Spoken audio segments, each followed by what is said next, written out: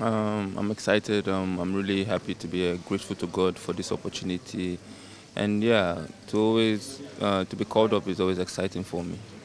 Yeah, it's a good reception. Uh, it's, uh, it's a lot of great guys, you know, and yeah, I'm enjoying my moment here. And I'm in Uyo, so I also feel at home because I've been here for a couple of years before. So yeah, I'm really happy to be back here.